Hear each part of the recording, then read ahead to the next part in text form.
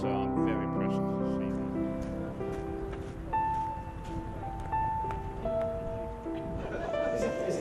Imminent danger.